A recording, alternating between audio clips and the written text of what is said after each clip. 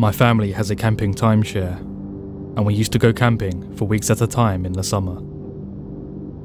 My dad had to work, so he would stay at home Monday to Thursday and come up to meet us at the campgrounds Friday to Sunday. The campgrounds had a pool, a miniature golf course, and basketball courts. We were there for so long that my mum became comfortable with letting us wander, since there was only one entrance and exit. One year, when I was around 8, but very small for my age, so I looked around 5, I met a little boy who was camping with his single father for a few days. He came to our campsite a lot and knew we were staying for a while.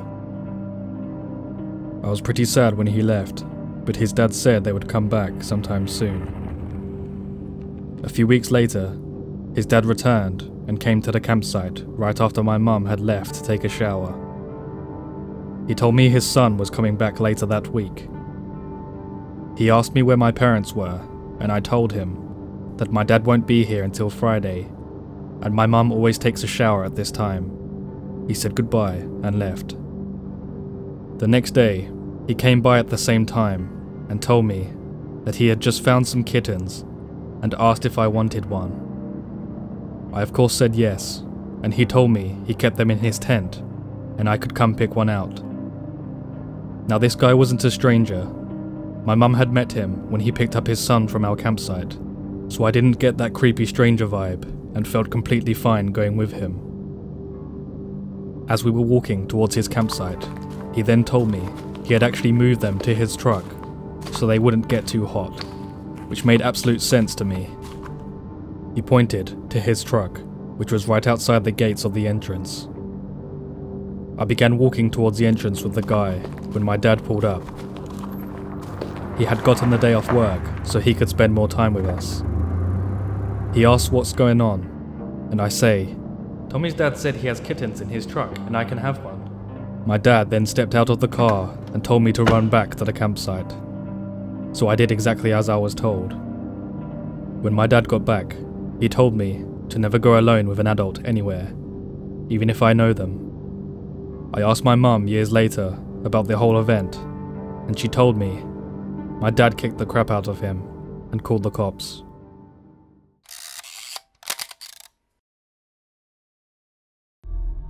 Last summer, my boyfriend and I went camping in some nature preserve in Pennsylvania. I can't remember the name. It was pretty primitive camping, no cell service, and we only saw two other people there in this huge location. My boyfriend immediately said these two people seemed after him right away. The first person was a woman who had parked her truck off the trail and the hood was open. I don't really notice these types of things, but my boyfriend said it looked to him like she was waiting for someone to pull up beside her and offered to help her with her truck. Normally, my boyfriend is the type to at least offer to call someone. But he said she skeeved him out enough that he didn't even want to draw her attention. The next person we saw drove by several times whilst we were setting up. Every time he drove by slowly and looked at us. I didn't even notice this, however, until my boyfriend pointed out that he had already done that twice. Whether these two people had planned anything sinister or not, we didn't know. The real story didn't occur until we were startled awake at 3am. It was incredibly loud and sudden, couldn't describe it or even compare it to anything. But my boyfriend said it sounded to him similar to a chain gun revving up, or someone using some large tool to scrape gravel. My boyfriend jumped up and looked out the little window of the tent. The sound happened again, again, and again, and it was getting noticeably closer each time. I was about to piss myself, but my boyfriend told me it was probably miles away I didn't question this because loud noises can be heard from miles off, right? Well, later, my boyfriend told me he only said that because he didn't want to scare me. It really sounded like it was coming from right down the little dirt road. At one point, he said he suspected it was right in front of our campsite.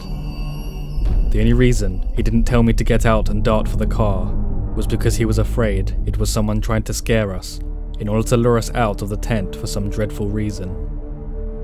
He whispered for me to just go back to sleep. I should have noticed he was whispering and knew something was wrong, since otherwise he'd just speak normally, right? However, I could not, because every little sound I heard outside sounded like someone sneaking up to the tent. Eventually, my boyfriend told me to get out and help him pack up. It was maybe 20 minutes after the sound stopped. He held our only weapon, a machete, in front of him. It was a full moon, or close to it, so we didn't need a light. Whilst we were packing quickly, I noticed an empty beer can close to our dead campfire. It wasn't there when we went to sleep at around 10 pm, and neither of us even brought any beer. Thankfully, we got out of there, and for the rest of that trip, we either camped in areas well populated by other campers, or we got a hotel room. Before I continue with the final story, if you've enjoyed this video so far, please leave a like, a comment, and subscribe to see future content from me as well as help me in the algorithm. Thank you.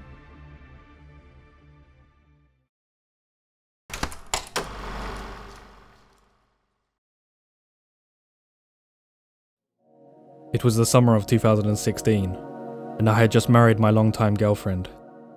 Over the course of our 12 year relationship, we had travelled to the mountains several times in both summer and winter for camping, but also to stay in nice mountain hotels and snowboard the slopes. Naturally, we both agreed this was how we wanted to spend the first few weeks of our marriage. We booked a 20 day stay at a mountainside campground on the other side of the country. We also decided to bring our dogs with us, as they too love being outdoors, and we generally bring them camping anyway. After two days of road tripping, we had arrived, quickly set up and settled in for a good long stay on the mountain. It was beautiful. A couple of days into our trip, and we had already met a bunch of fellow campers. We are very experienced campers, so we generally attract a lot of attention from novice campers asking for tools or supplies as they see we are well set up.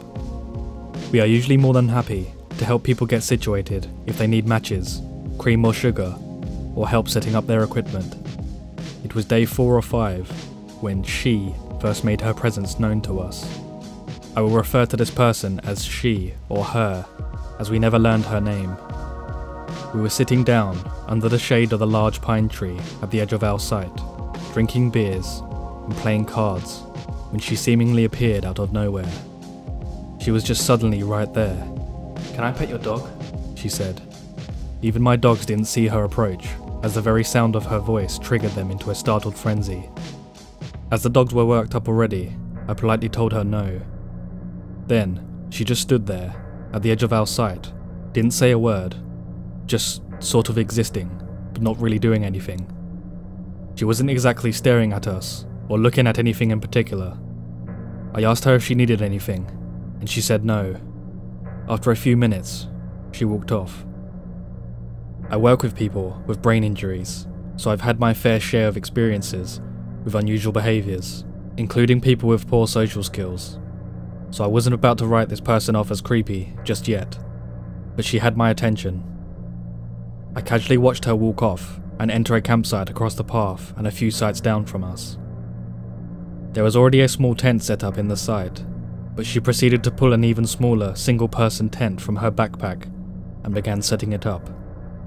The day prior, we saw two young girls set up the other tent and were clearly the occupants of the site. There was no further interaction with her that day, although we did notice that the owners of the other tent on the site were not around at all that day, and we didn't see them return that night. Well, the next morning, I am walking to the camp showers to clean up for the day. As I walked past her site, I saw she was sitting in her little tent reading a book. The door to the tent was open. I paid no attention and kept on my way to take my shower. Once I finished my shower, I began walking back. I noticed her tent was now closed, but was jiggling about, so I knew someone was in there. Then, she made her presence known in a big way. Just as I was approaching her site on the way to mine, she unzipped her tent, and I immediately saw that she was completely nude. She then positioned herself just inside the tent at the door and let out this over the top, full body stretch and held her arms way up towards the sky while pushing her chest forward, like it was some kind of mating ritual designed just for me. While she did this, she let out what I can only describe as an exotic moan. It was pretty obvious she was putting on a show for me. I continued on my way to my site and told my wife about the display I had just witnessed. We both laughed it off and moved on with our plans to day hike a good trail to a waterfall. The trailhead for this hike was accessible from the campgrounds, so we didn't have to drive to get there. We just walked the additional 2 kilometers to the trail. We walked at a good pace, so that when we got to the trail, we decided to stop for a few minutes and take some photos of the surrounding mountains before heading into the thicker bush. After sitting there for maybe 5 minutes whilst my wife was taking pictures, she emerged from the trail that leads towards the campground.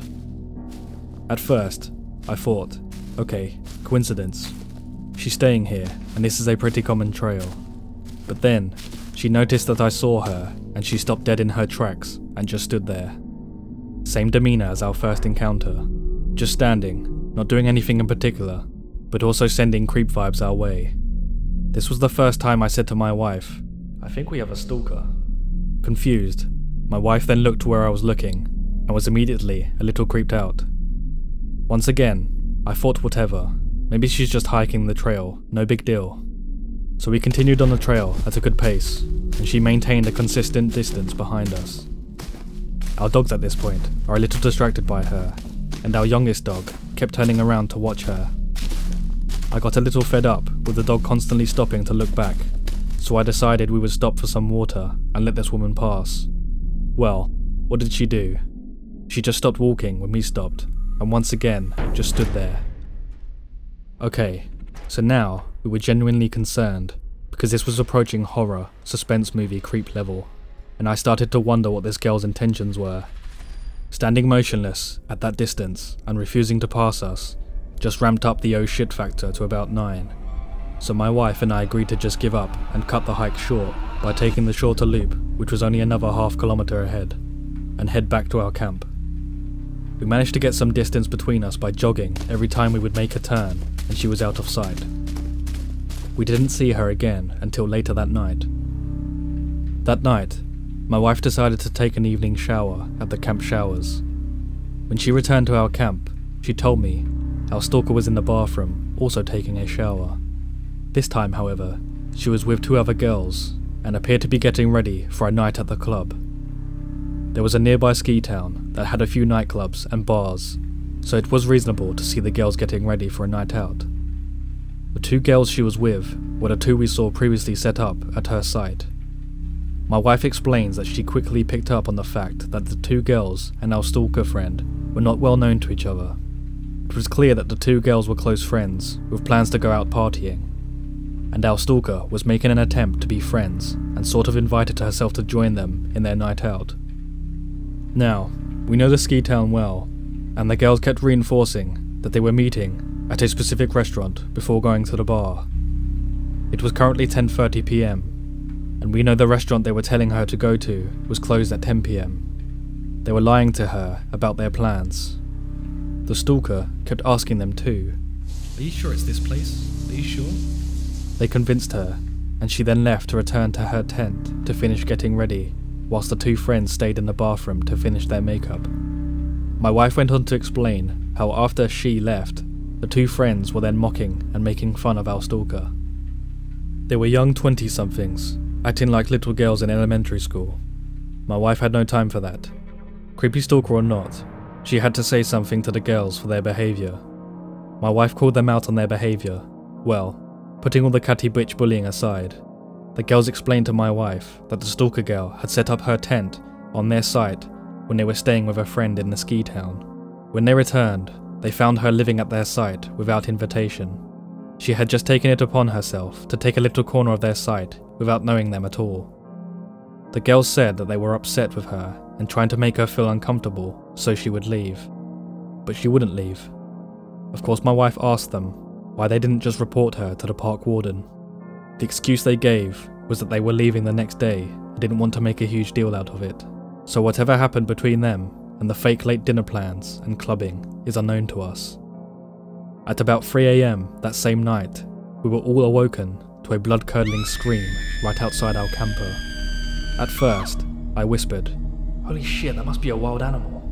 My wife was trembling, dogs barking, and I was startled but curious. I peeled back the window cover to see her standing motionless on the path outside our trailer. I had the window cover down maybe 8 to 10 centimeters when she appeared to make direct eye contact with me. My heart rate skyrocketed. What the actual fuck? After gazing in my general direction for what seemed like an eternity, she calmly turned around and walked back to her tent. I went to make sure our trailer was locked. After a good hour and a stiff whiskey, we managed to get back to sleep. So, the next day was a Friday. We had friends from a nearby major city coming up the mountains to spend the weekend with us. We hadn't seen them in a while, so we were excited for a couple of days together. Well, they were not at our site for more than 15 minutes, and as they were setting up their tent, she mysteriously appeared out of nowhere yet again. Like bam, there she was. But now, this time, she was actually in our sight. I hadn't had a chance to tell our friends about her before she arrived, so they were a little more friendly than I was. She asked me once again if she could pet my dog, who during all of this is barking at her. I think I said something like, She isn't being friendly towards you right now, so I'd prefer if you didn't. She didn't pet my dog, but she also just stood there staring at me, like she was considering how she would dismember my limbs. She then noticed our friend's tent brand as he is still setting up, and commented on how it's the same model as hers, although a larger sleeping capacity. My buddy had picked up on the creep vibes and my general displeasure with her presence, so he just responded with, Oh yeah, cool, and kept setting it up. She started grabbing at the tent pegs and picked up the hammer and said she would help him set it up because she has experience with it. My buddy declined and asked for his tools back. Cue the fucking psychopath stare down, this time she has a hammer in hand, adding to the oh shit factor. She literally just dropped everything right there and ran off. I go on to explain the last few days to our friends, and they agree we need to keep an eye on her. So, by this time, the two girlfriends, whose site she had hijacked, were packed up and gone. It's now Friday night, and we had been drinking all day, so we were feeling pretty good. It's roughly 11pm, when she walked over to our site again. She said, Hey, you guys seem to have a lot of extra room with the tent and the camper. Do you think I could stay with you guys tonight? We could have a lot of fun in there together. My body is feeling pretty good from all the day beers, so he's pretty forward when he replied, Did you just propose a gangbang to us? Now, this whole time, I was just sitting in my camp chair with my whiskey, taking this all in. She wasn't really taking notice of me at all so far. Then, she smiled, turned her head, and looked directly down at me and said, I like your friend. She then turned around and walked away into the darkness of the night towards the forest. We were all now terrified she was going to return, I decided right then and there that if we saw her again, in a creepy fashion, I'm calling the park warden. This was getting silly. Well, the night is winding down, so we all decided to walk together to the bathrooms to clean up for bed. My wife pulled on my hoodie and said, Babe, look. I looked over to see that the site she was set up on was completely destroyed. Shit everywhere. Just stuff, garbage, clothing, food, everywhere. I thought, okay, this was weird, could this have been a bear? No, we would have heard it. I then noticed that the tent was gone. She was gone and left the site to complete mess. As luck would have it, the park patrol was completing their fire rounds and were at the messed up site when we were returning from the bathrooms. We told them there was a girl staying here by herself who was acting erratic and we suspected she was squatting on the site based on our conversation with the two girls from earlier in the week. We didn't see her again for the rest of our trip until the last full day. There is a great little lookout point not far from our site, which had amazing views of the river and the valley below, and it was a perfect evening to see the sunset behind the mountains. It was a lovely final send off to an otherwise beautiful honeymoon. Just when we thought we were done with her, she emerged once again from seemingly nowhere. We were sitting on a couple of chairs that are bolted in place at the viewpoint, taking pictures of the valley below as my wife is looking through the camera viewfinder, she picks up on the woman in the distance. She was standing in the woods, a little ways down the mountain, towards the valley, watching us. As her final act, she walked up the mountainside and sat right beside us on a boulder that was beside the chairs. She said nothing, just sat there. My wife had the brilliant idea of asking me to take one last picture of the scenery, and she gave me a little wink. I picked up on her idea right away, and I positioned myself so this woman was going to be in the picture. My wife wanted this lady's photo in the event something bad happens with her before we can leave the area. We took our final looks out at the beautiful scenery and we headed to our camp for the night. We didn't see or hear from her again. Upon reflection, we agreed it was obvious this woman had some serious mental health issues. She had zero social skills, and we witnessed her attempt to make friends with those two girls that shafted her in a terrible way. That being said, she did things way beyond the realm of acceptable social awkwardness. There were moments I thought she would pull out a knife and kill us all where we stood. More than that, the stalking, the midnight screaming, and running off into the woods at night was terrifying to us, and I feel a story worthy of this sub. I do have the photo on a thumb drive somewhere, and we'll see about uploading a pixelated photo if it's appropriate. To anyone else, the picture just looks like a person is sitting in the shot.